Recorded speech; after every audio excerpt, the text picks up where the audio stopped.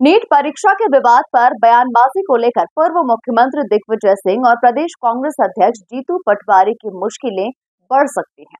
राजधानी भोपाल में अखिल भारतीय विद्यार्थी परिषद के कार्यकर्ताओं ने दिग्विजय सिंह और जीतू पटवारी के खिलाफ श्यामला हिल्स थाने में एफआईआर को लेकर ज्ञापन सौंपा। दिग्विजय सिंह के निवास पर पुतला जलाकर विरोध प्रदर्शन भी किया गया। देखिए रिपोर्ट।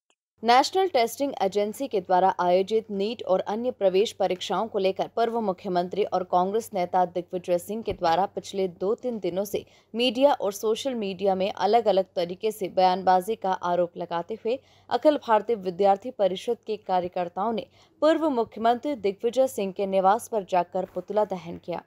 इस दौरान दिग्विजय सिंह और प्रदेश कांग्रेस कमेटी के अध्यक्ष जीतू पटवारी पर श्यामला हिल्स थाने में एफआईआर दर्ज कराने के लिए आवेदन दिया, जहाँ प्रांत सह मंत्री जसवंत यादव सहित अन्य कार्यकर्ताओं ने दिग्विजय सिंह पर गंभीर आरोप लगाए। भोपाल महानगर से मंत्री।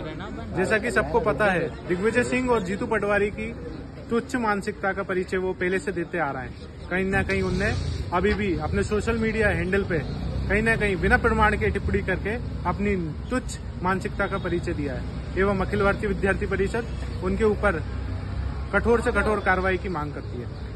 कुल मिलाकर देखा जाए तो मध्य प्रदेश सहित पूरे देश में नेशनल टेस्टिंग एजेंसी के द्वारा आयोजित नीट और अन्य प्रवेश परीक्षाओं पर भ्रष्टाचार का आरोप लगाते हुए विरोध प्रदर्शन का दौर जारी है।